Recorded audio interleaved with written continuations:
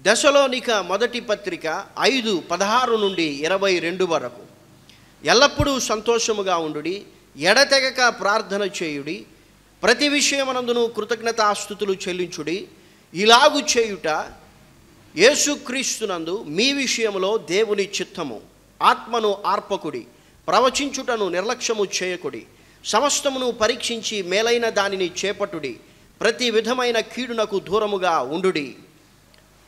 దశలోనిక మొదటి పత్రిక ఐదు ఇరవై ఎనిమిది. మన ప్రభు అయిన యేసుక్రీస్తు కృప మీకు తోడై ఉండునుగాక.